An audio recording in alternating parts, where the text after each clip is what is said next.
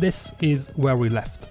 So we better get going because we've got 7 specs left for the melee DPS. And we are going now with Enhancement. Enhancement has got some pretty good changes with the rework, pseudo rework for Shadowlands. Besides the fact that they are very nice to play, they are very enjoyable. They are very enjoyable spec. They do have the most versatility out of all the specs. They have the choices to their talents that, that they can choose for AoE, cleave, and single target, as well as funnel, increasing their funnel. So their main strength remain.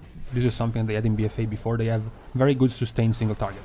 They can continue their cycle, their rotation without the help of too many cooldowns. Their damage that doesn't spike too high, which can be a negative, as we have seen in these rankings before, the lack of a burst. But when you do lack a burst, generally you do have very good sustain. They also have very good sustain when it comes to cleave, and when it comes to AOE, as long as the as long as the targets aren't too many, it's pretty good to stay in there as well. And their priority damage is also very good. The fact that they can use their, you know, do everything ability, Crash Lightning, for their cleave and their extra AoE can allow them to funnel damage on their primary target very well without having to lose single target damage to do AoE. They can still continue their single target rotation with Crash Lightning active. The main crown jewel really of enhancement is just the fact that they can go different talent choices for different setups. They can choose Storm Flurry and even Elemental Assault for extra single target and cleave damage through their Storm Strike, but then they can also go Ice Strike to reset their primarily their flame shock for more dot damage as well as if they want to they can funnel for primal lava actuator le legendary damage of their lava burst or they can reset the frost shock cooldown for their hailstorm. Another very good talent very good versatile choice in that tree where you can go for a six target extra damage of your frost shock which is very powerful. This makes it very varied. However we do have some negatives obviously. Number one just get it out of the way. Their covenants are terrible for enhancement. It's, you know, three completely unsynergistic covenants that really do nothing besides doing some AoE. And then Primordial Wave, which is much stronger for elemental and also even restoration over enhancement. And this kind of hurts, you know. It is a spec that also requires uptime. They do require to be constantly auto-attacking and constantly using abilities to reset their passives, to keep up their DOT in Flame Shock to build up their stacks of Maelstrom weapons, so losing uptime hurts them more than some other specs. And we also have to mention a problem, which is RNG. Now, we do remember the BFA version of the slot machine enhancement, where everything was around Stormbringer and constantly resetting your Storm Strike. This has gone, uh, this type of RNG to this extent, but RNG is still here. Remember that, you know, Wind Fury weapon has a chance to trigger extra attacks. You have Stormbringer, which is a chance to have your special attacks resetting the cooldown of your Storm Strike, and now you have Maelstrom Weapon, which has your damage with a melee weapon give you a chance to gain a Maelstrom Weapon stack. You do have quite a few chances, random chances to gain a buff, to gain a steroid, and you can't really manage that, you can't really cheat the system, you just have to roll the dice and hope that it works. Now obviously, rather than having one gigantic slot machine, having multiple smaller ones is going to lower the effect of these RNG elements. You're not going to be going through very starving phases over time because you're not really proccing your Stormbringer. Now the issue is going to be weakened, but it can still be a problem. Despite being very varied, you do still have, this is sort of the downside of this, a lot of things to keep track of. You have to keep track of your Maelstrom stacks, you have to consume them properly, you have to use your Flame Shock on cooldown and try to use it properly on all the different targets, you have to keep up your Crash Lightning when you're cleaving on your Eing, when you're using certain legendaries like the Frost Witch legendary, you even have to pay more attention to the cooldown of your Storm Strike and using it properly. Even when you're using the other decent legendary uh, lava actuators for your Lava Lash and extra cleave, 2, 3, 4 targets cleave with spread flame shock. It's another thing you have to take into account, so it is prone to losing more DPS the more mistakes you do, compared to some other specs. Lastly, their defensives are still weak, same for Elemental, and it also doesn't bring anything special to a raid. As I mentioned before for Elemental, not special enough to be considered very good utility. They do have though, so we are leaving with a question mark, they do have Wind Fury Totem. Wind Fury Totem might be just enough to make essentially an one enhancement shaman mandatory for your raid comp. We don't know yet how strong it's gonna be. It's likely that deeper into the expansion it's gonna become stronger and stronger, so for now we don't we're not quite sure. If it is mandatory then enhancement is an easy S tier spec purely because of it, purely because you need one, so it's an S spec by default. But for now, we're gonna assume it's just a decent utility and not really that mandatory. So without that, Enhancement remains a pretty good spec, pretty varied spec. They can change their talents to change the damage profile, which is always very, very good. And I wouldn't complain if I were an Enhancement Shaman main compared to the state I was in in BFA. Now we are moving over to Assassination Rogue. Now, what's up with Assassination? Well, nothing. Um, Assassination is the same spec it's been for years, which was one of the critiques I gave to the spec. But let's go over the positives first. They do have, well, I mentioned it's the same, so they do have great sustained single target damage. They do have very good sustained cleave damage. They do have a very good single target cooldown in Vendetta.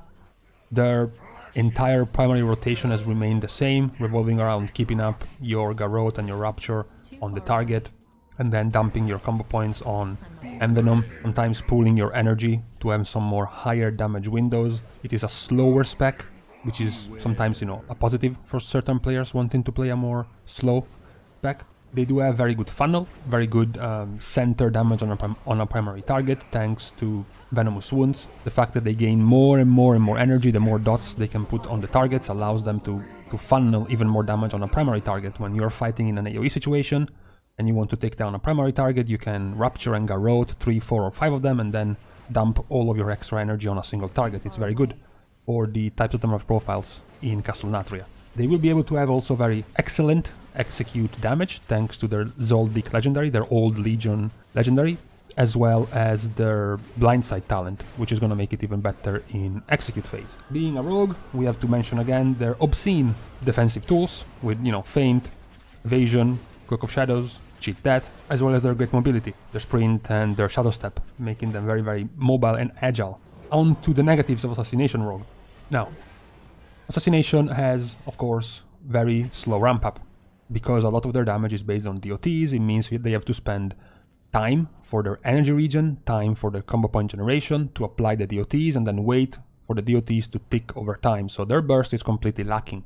In Cleave, in AoE, it's just non-existent. It's very, very, very poor which is particularly painful when we look at the damage profiles of Castle Nathria. Being able to not immediately jump on a target and do very high damage is gonna hurt them when it comes to the priority of the spec, when you want to fill your melee spots. They do also have not very exciting covenants. They have been nerfed over time. Yes, Serrated Bone Spike has been nerfed to the ground. Sepsis and Echoing Reprimand weren't even good to begin with. Now they only have Flagellation as a good complement of their Vendetta. To grant them haste within Vendetta, but that's about it, and also does nothing for their lack of cleave and AoE.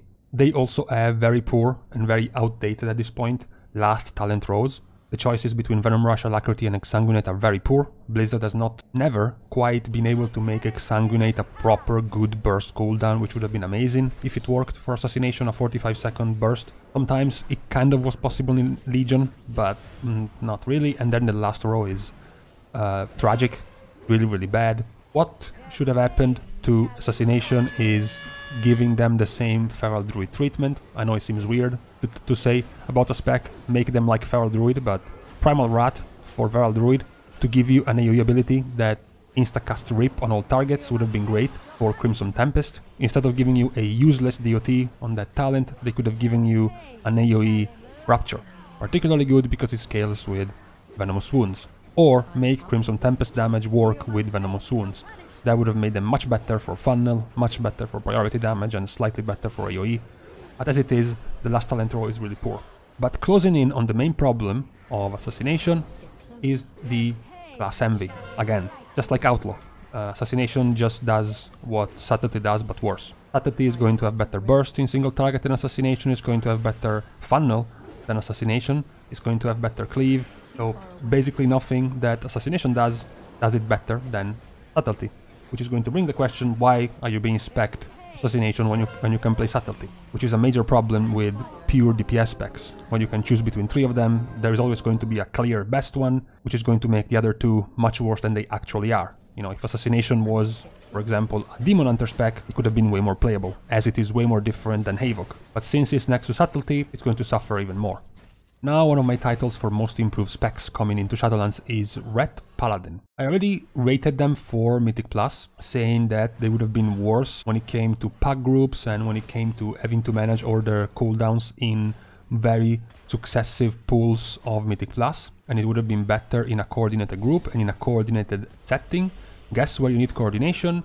Raid encounters. Ret Paladin has likely more burst than they ever had. They have incredible single target burst, they have incredible AoE burst. In both situations they are excellent. What's even better is that it's not exclusive to talent setups. I mentioned this before as a positive and also a negative for many specs. They can have very excellent damage profile, but it's going to be exclusive to certain talents. Once you have to lose that talent, for example, to go from single target to cleave or for AoE to single target, you lose the damage profile. Ret doesn't. Ret has baseline very good damage in both single target and AoE and can enhance it with talents. Execution Sentence for their single target, they have Seraphim for both single target and AoE, they have Final Reckoning for AoE, which is also fine for single target. The new additions that they had just make them so much stronger because before, or right now in BFA, as you know, actually no, we, we are in pre-patch, you already have these things. In BFA, you only add your wings and nothing else.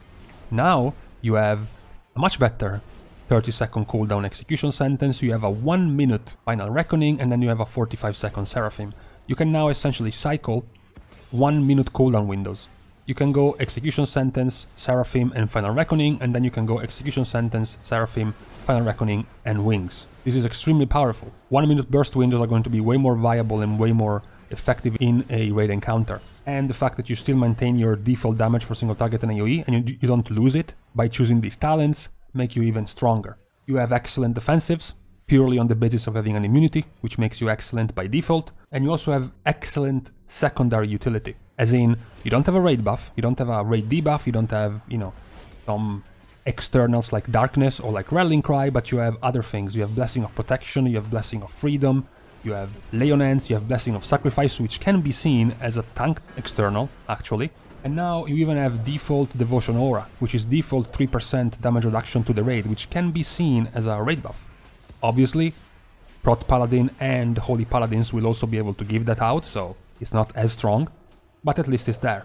And finally, your priority damage is also nice. Even when you're doing your AoE burst, with your Execution Sentence, with your Blade of Wrath, with your Judgment, you're still gonna do priority damage on the primary target, which is good. On to the negatives though. It's ret, so they are super immobile, they are super slow, that's a big negative. They have very poor cleave, as I mentioned this before, one of the worst aspects of Ret, when I mentioned them alongside the Elemental, is that they can only hit one target or they can hit 3, 4, 5, 6, 7, 8. They can't really hit two, they are in a dead zone on two targets. They have downtime between CDs in terms of damage massively. This is a much lessened problem, as I mentioned, because now their CD windows are one minute apart instead of two minutes, so lesser problem now. As I mentioned, they do lack the primary utility, which would make you want to bring a Ret for sure, okay? Like Arcane Intellect, like Fortitude, right? They don't have that. Their main strongest legendaries have currently been nerfed by quite a bit. Final Verdict for their single target has been heavily nerfed, and their Mad Paragon for their wings duration has been nerfed. Mad Paragon used to be 4 second extra wings, it's been nerfed down to 1.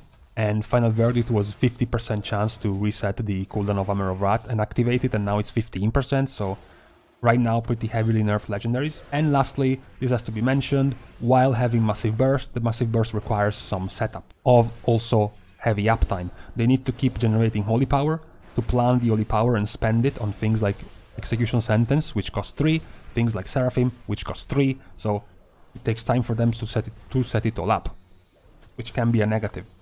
All in all, they are still very solid very good burst cooldown which has been made stronger because now it can be used in more windows, more times, more often, which makes them simply more viable in raid encounters.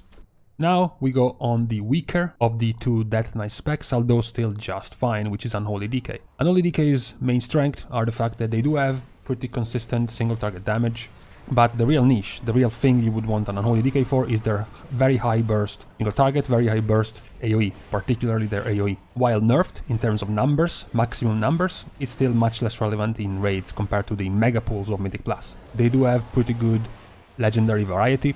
They can have the Deadliest Coil to heavily reduce their Dark Transformation. They have their Death Certainty to heavily reduce their Death and Decay, which goes very well with their Night Fae Covenant for uptime on that effect as well as Frenzied Monstrosity for just extra burst damage. Although the negative would be that they have been nerfed quite a bit over time. They do have good priority damage, because their entire build is, is about building up stacks on one target and then blowing it up.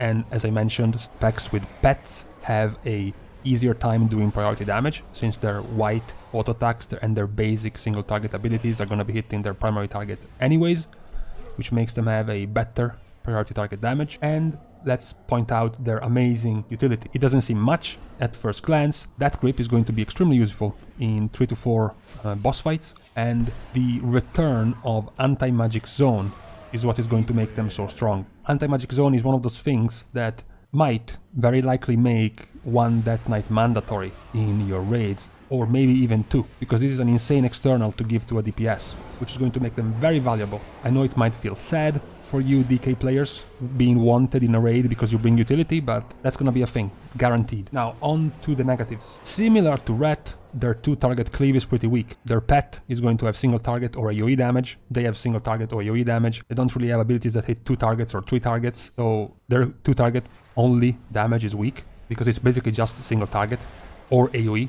There is no in between. They have poor covenants when it comes to anything that is not AoE. I mentioned just about the only way they can make it valuable outside of AoE is if they take that certainty together with their Let's Do Night Fae essentially giving them permanent uptime on their death and decay. So they would be gaining 8% strength, which is good for single target. But besides that, the covenants are poor. They are still very slow as a spec. They have atrocious mobility. Their burst setup is based on festering wounds, which means it takes time. You have to use your festering strike multiple times and then you have to burst them up, which takes time. It takes runes and it takes runic power to set it up. It's not instant, which is going to hurt when it comes to requiring snap damage on a on a primary target, as well as setting up their cooldowns while being strong.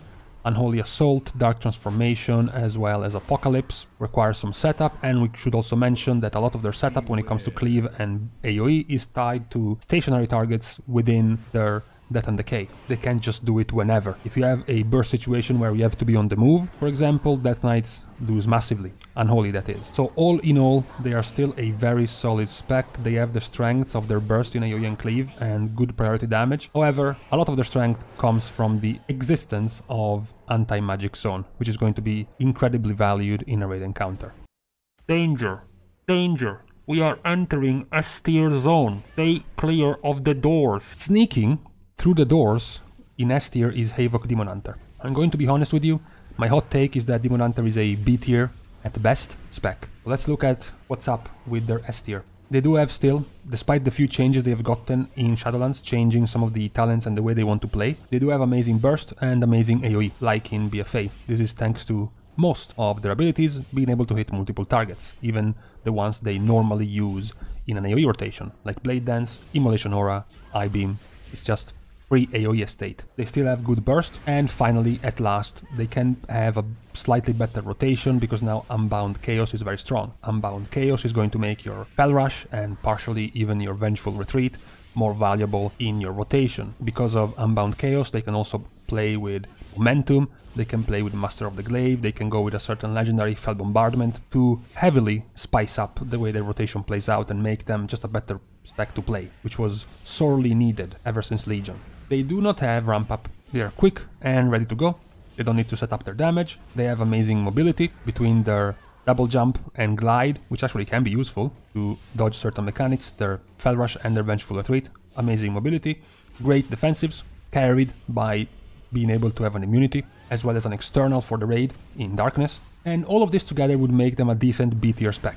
However, what jumps the queue into S tier is going to be Chaos Brand. Chaos Brand and the magical damage debuff they give is just too strong to pass up. It means you have to have a guaranteed Demon Hunter in the raid. What makes them even stronger than, for example, Mage spec, where you have to choose, you have multiple specs to choose from, or even a Monk, where you are the only DPS and you can be benched to bring in a healer or a tank with the debuff you want. Demon Hunters are the only spec for DPS in their class, and what's even better is their tank version, Vengeance, is currently one of the weakest tank specs, and it is not going to be favored at all coming into the raids, which means they are the prime pick for this debuff. So this is a guaranteed S tier. At the same time, they are also pretty much the worst or one of the worst specs you can choose to have two of in the same raid there are plenty of other specs that can do what Demon Hunter does better than them. So after you fill your Demon Hunter slot, there is going to be way less incentive to bring two Demon Hunters in the same raid. Looking at the negatives as to why they would be B tier normally. They have very low sustained damage when it comes to AoE,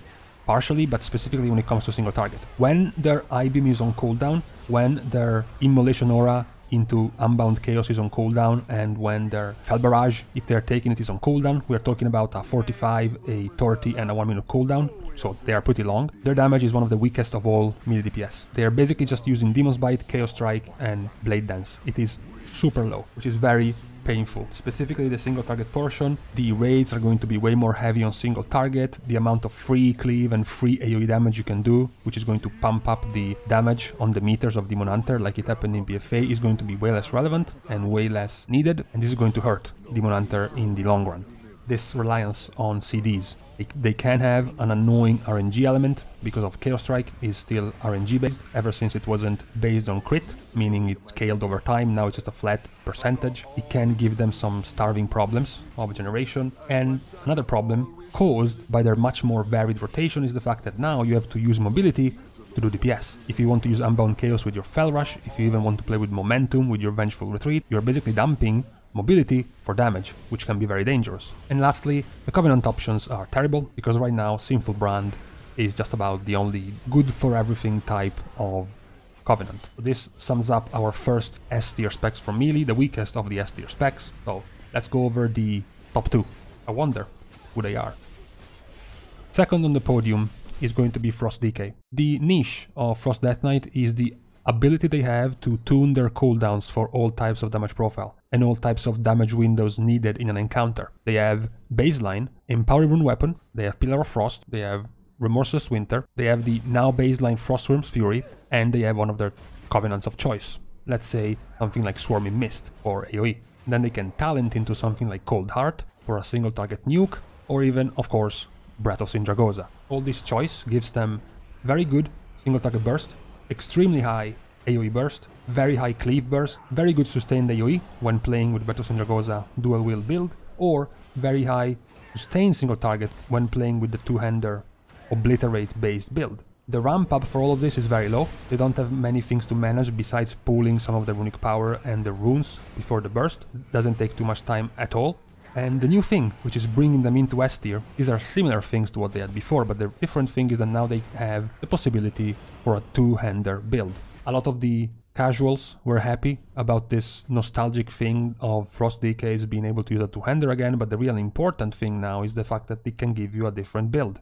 The scaling on the damage of some of the Death Knight's abilities and talents are based on main hand weapon damage, completely ignoring the offhand this means that if you're using a single weapon, the base damage of these things, for example, is going to do more damage, which is going to give your two-hander more options. There are going to be several talents scaling better and abilities scaling better with your two-hander build and others with your dual wield. It is going to give you great options for the damage profile you want to do. This is further enhanced by legendaries.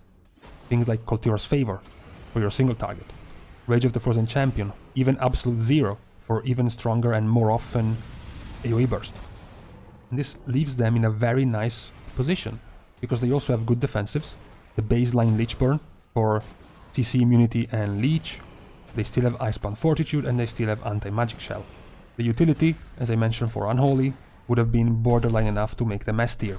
Besides the grip, which is nice but not mandatory, Anti-Magic Zone might be mandatory in your raids. And it's not a one-off, it's not a single buff like Arcane Intellect. You might even want two anti-magic zones for a raid encounter, even three maybe, because of how strong it is. This might even open up more options for your raid because it is so strong to have defensives like Barrier in your raid setup, but now with a DK being able to bring anti-magic zone, maybe some weaker healers without very strong externals can make an appearance in your raid comp, being covered by DKs. I know this is a stretch, but you know, let's be positive. The negatives though. They are still very slow. Slow as fuck. This can hurt them a lot in a raid. There is quite a few movement in quite a few fights and, you know, DK is just Other weakness is the fact that all of this goodness related to damage profiles is purely and completely exclusive. You either set up all of your talents and your legendary and even your weapon for your single target build or you do it for your AoE and cleave. You can do it at the same time. So you have to choose encounter from encounter. But it still leaves you in a better situation than other classes. Some other classes might be wanting single target burst for arcane and they're fine, but if they want sustain cleave and AoE, they might have to respec for, to frost. You don't have to as a frost DK in this situation. So this is still positive. So all in all, Frost DK is very nice, very complete, their damage profile fits very well, the bosses and the encounters in Castle the amount of burst they can dish out, and the frequency in which they can, plus the variety between the dual wield and the single target build, and the anti-magic zone make them an S tier spec. We have Sub Rogue. What a surprise. Sub Rogue has gotten quite some nice QOL changes. They have gotten Slice and Dice baseline. This is very good for a spec like Sub Rogue because Sub Rogue have something like Shadow Techniques, meaning the faster the auto attacks, the more the resource generation. They have a very strong, currently, Conduit, deeper daggers, giving them massively increased damage during their Shadow Dance window with Shadow Strike thanks to using their finisher. Their cycle of damage based on Symbol of Death and Shadow Dance gives them very high burst single target, very good burst AoE, but what is really strong in is going to be the best funnel in the game and the best priority damage in the game. Everything is triggered by Shuriken Storm, giving them one combo point per target hit. This makes it insane in many fights where there are going to be some fodder enemies here and there just running around, allowing Sub Rogue to get full combo points. Not just good because of the good damage of their Eviscerate, which is, going, which is going to be one of their main damage dealers alongside their Shadow Strike, but also because of Deepening Shadows, giving them cooldown reduction on their Shadow Dance per combo point spent, which makes it insane in multi-target fights, where they can abuse this. You all remember Zul, and the reason why Sub had to be nerfed, right? It had to be nerfed, but it is still perfectly functioning. Zul was an extreme case. Their damage is already good, in a lot of these fights, but any fight with a lot of small targets running around, even just three or four, from Stone Legion Generals to Sun King Salvation to at least two of the phases of Denathrius, one of the phase which is going to be the hardest phase of Inerva, are all going to have this type of damage profile, and Sub Rogue is just going to go crazy on this with this system. They still, being a rogue, have great mobility, they have great survivability, thanks to, you know, their cheat death, their evasion, their Cloak of Shadows, they feint, yeah, yeah, yeah already mentioned this multiple times, you all know this by this point. Okay, what about the negatives? I'm, a, I'm an assassination main, I'm depressed. Just tell me the negatives. They are of course very cooldown reliant. Outside of their Shadow Dance and Symbol of Death, they are very poor. And when you only have one target, your single target is much poorer than if you had two, three, or four targets next to your primary target. They are very reliant on uptime Uptime meaning how often they can stick to the target and keep generating and spending combo points because of the aforementioned deepening shadows and even shadow techniques. So losing uptime, having to move around and not doing damage is going to hurt them more than other specs. Their mistakes are very punishing because of their damage is so concentrated in an 8 second window that fucking up the 8 second window, not planning it properly, being forced to move by a mechanic is going to hurt them even more than other specs. You know, this is the problem of all specs with very high burst you need to plan it properly because if you fuck up the burst, you're gonna massively lose DPS. The last problem we should mention, although this could be temporary, is that they have been undergoing some rounds of nerfs. Their Akaari's Soul has been heavily nerfed, their Deepening Shadows used to be 1.5 second cooldown reduction, now it's down to 0.5. So they have gotten quite some nerfs over time, and their Covenants are pretty weak.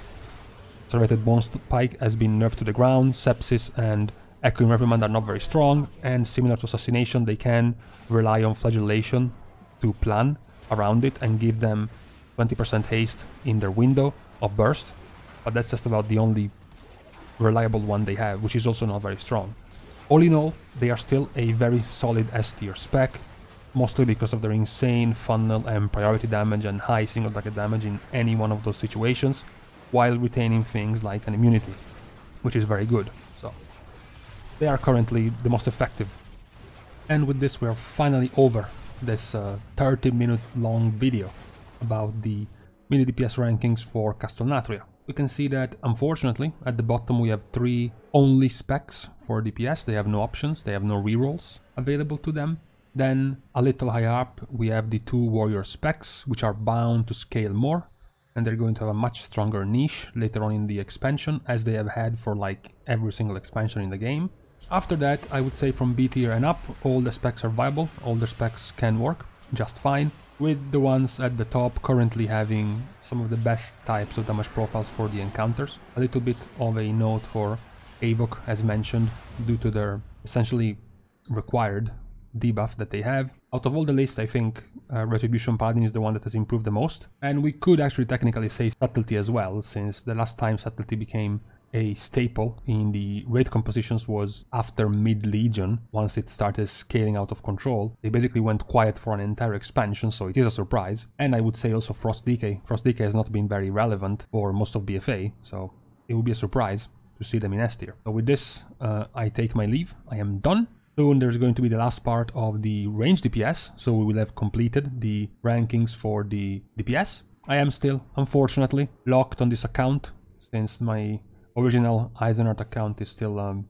unreachable, unfortunately. It's a pain having to restart, but uh, thank you guys for the support anyways. And while you bicker in the comments about which spec is OP and which spec is not, in the meantime, I'm gonna go off and cook some dinner.